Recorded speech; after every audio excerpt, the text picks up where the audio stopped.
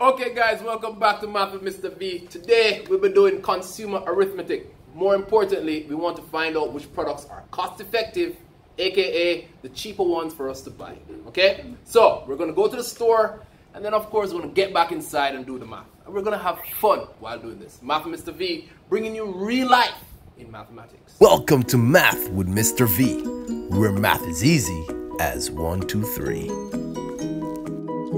Okay, so I have two packets of Lasco. Yeah, we have the 400 gram one, and we also have the 120 gram one.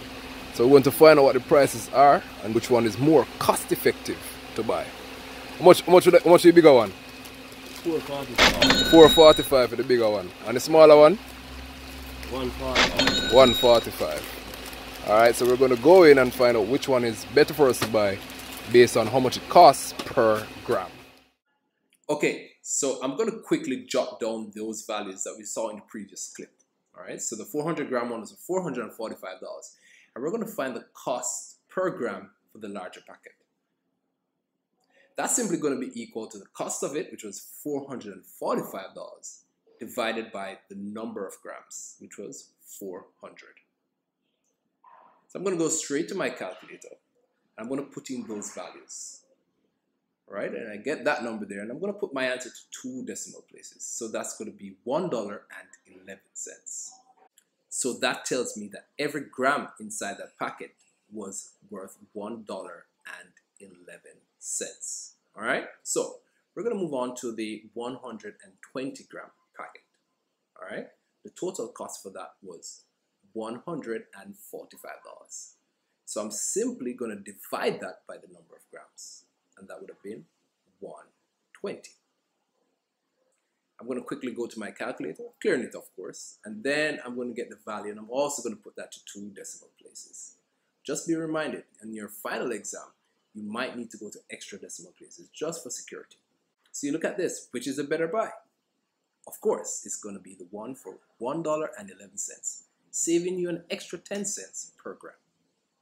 I did some searching and I found a question very similar to our real life example. This was taken from January 2016. Now, guess what? I'm going to charge you get that pen, get that paper, pause the video, try it on your own before you press play.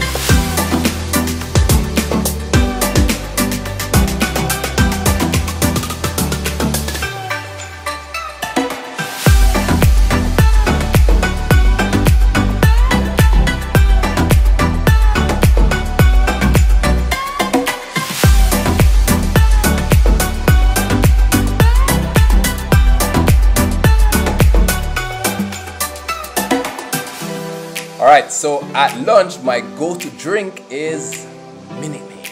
All right, this one's for $90, and this is a 600 milliliter one. All right, so make note of that. Now, on days when I don't really feel like I want too much sugar in my system, I go for the smaller bottle. This one is 355 milliliters, and it's worth $50. So now we're gonna try and find out which one is more cost effective. All right, so have a nice. I have noise in my background. Okay, so we come to the end of the video. I hope that you really found it informative. I make sure you do your homework by the way. Make sure you do your homework. I'm gonna check on you. Alright? So I have a big surprise for you guys. But guess what? It's not gonna be next week's video. It's gonna be the other week's video. So stay tuned. I'm gonna give you clues along the way. Hit that like, hit that subscribe, and of course, share it with all your friends. I work so hard making these videos. I gotta make me some Lasco.